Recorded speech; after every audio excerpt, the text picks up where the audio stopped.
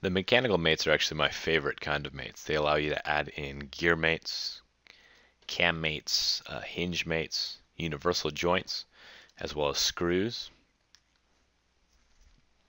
So to get started, I'll go into mates, choose mechanical mate, and we'll start with a gear mate. So if I choose gear mate and choose two circular edges, in this case these two, it's going to set a ratio based on the diameters of these circles. Because I have two gears that have the same number of teeth, what circles I select don't matter too much because I can put in 1 to 1 if I want. I could also change this to 1 to 2 for example. But if you want to make it easy on yourself and you have gears with different numbers of teeth, you can add a pitch circle as a sketch and select those two out and it'll bring in the correct ratio. If I click OK, you can see every one rotation I make of this gear, it rotates this gear twice. But what you also notice if you look closely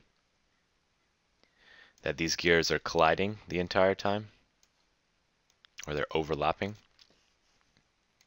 So when you set up a gear mate, it's not going to automatically detect any collision or try to avoid collision. So before you create your gear mate, it's a good practice to either separate these or have them just contacting. And then you can come in and choose the gear mate Select out these two circles and add that maiden.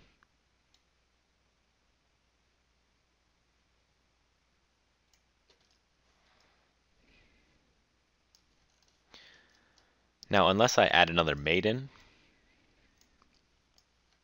and it's harder to see, this cylinder isn't going to rotate. It's not going to rotate with this gear this simply slides on top of it. So if I want these two to move together, I can actually add another gear mate. I'll select this inside circle and the outside circle, and I'll just make this ratio 1 to 1. And uncheck the reverse so they're going in the same direction. Click OK. And then we can come around to the other side and select out that edge and this edge and once again make it one to one. Click OK. Now when we rotate the gears both sides will rotate. Once again I'll go ahead and start these off. Just barely touching or barely offset from each other so they look just about right If you wanted, you could use physical dynamics in this case, or collision detection, to get them right next to each other and then create the gear mate, but for all intensive purposes, this is good enough. So once again, I'm going to choose the gear mate. And in this case, I do have pitch circles for these gears.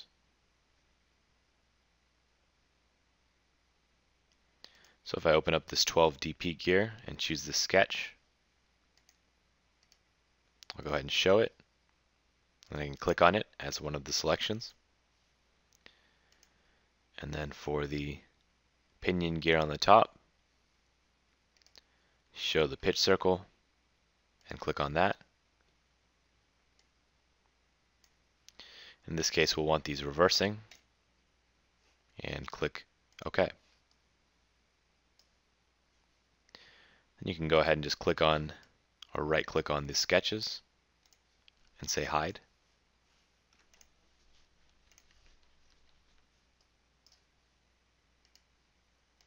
to get those out.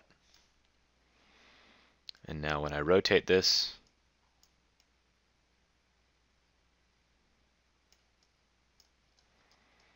that's actually reverse when it's not supposed to be.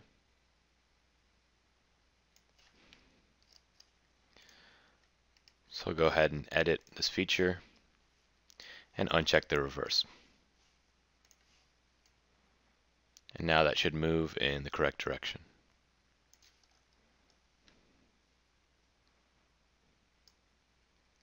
Once again, I'm going to want this shaft to move. So I'll select out another gear mate.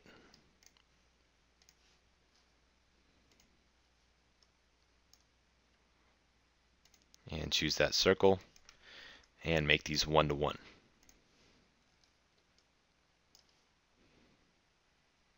Alternatively, I could have just made these two gears have a one to one ratio. And click OK. But either way works. Lastly, I want to make this cam also have a one to one ratio.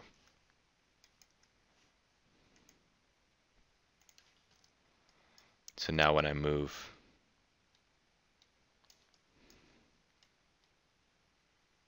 these, these all move. And it looks like that cam needs to be reversed so that these all go in the same direction.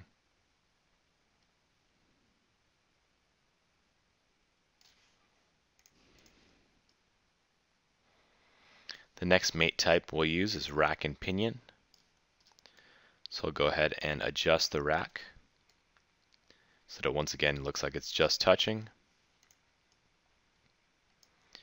And for this, I'll need to show that pitch circle again. And we'll come into the mates, go into mechanical mate, choose rack and pinion, and for the rack, all we have to do is select the edge in which we'll have our motion. And for the pinion gear, just that pitch circle. And you see it brings in that pitch diameter. And click OK. And now we can see those two move together. And I'll go ahead and hide out the sketch.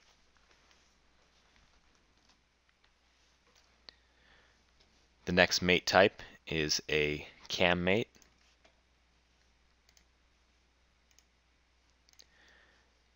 This is going to allow us to select a cam and a follower. So for the cam, you want to select whatever face that you want your follower to be coincident to. And then for the cam follower, you'll notice that I can't select this spherical face. So I actually went into the part and created a sketch point so that I could have something to be coincident to this face. So just keep that in mind when creating cam mate. You might need to create your own reference point in order to be able to use the mate.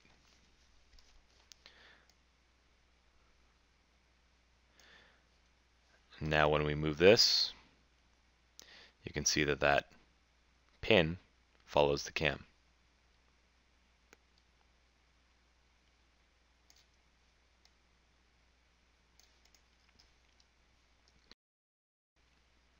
The next mating type is a screw mate.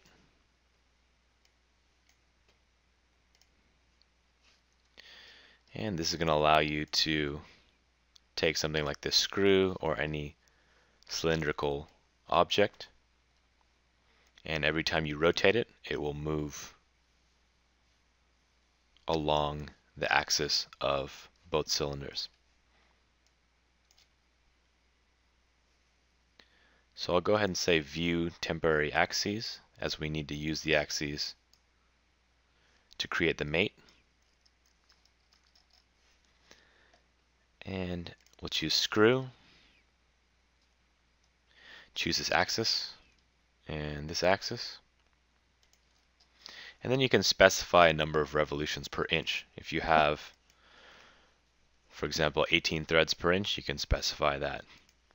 I'll keep this as 1 so it's a little bit easier to see the motion. and click OK. And you'll see as I move this down, it'll rotate on its own. And if I rotate it, or if I'm pulling in the direction of rotation, it'll also rotate. So that's two ways to move it. Pull up, it'll rotate itself, or pull in the direction of rotation.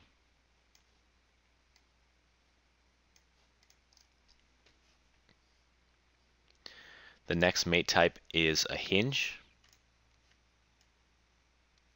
And a hinge simply allows you to add two mates at once, a concentric relation and a coincident relation. It also allows you to add in an angle limit if you want as well. So I'll select out this face and the cylindrical face there. And I'm going to go ahead and make the bottom face and this top face coincident. I could come in and specify angle limits. I'll go ahead and leave this unchecked. If you are curious on how this works, you can go back into the advanced mate video and see how the angle limit mate works. And these two things work exactly the same. So if you learn how to do it there, you'll be able to come in and set up an angle limit in this assembly. I'll go ahead and uncheck that view temporary axes. And now we have that hinge mate, which is just the concentric and coincident mate together.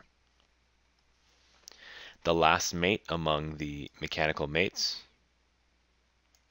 is the universal joint.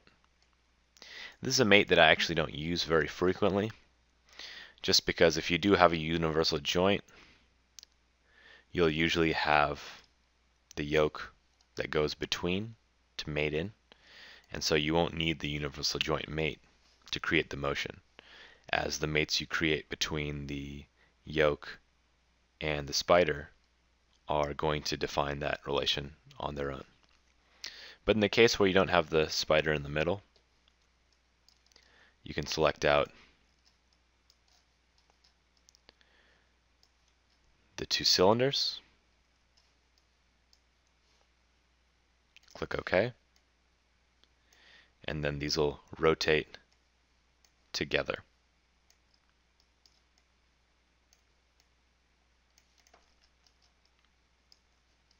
So that's how you create all of your mechanical mates. And these can be quite useful for showing motion within an assembly.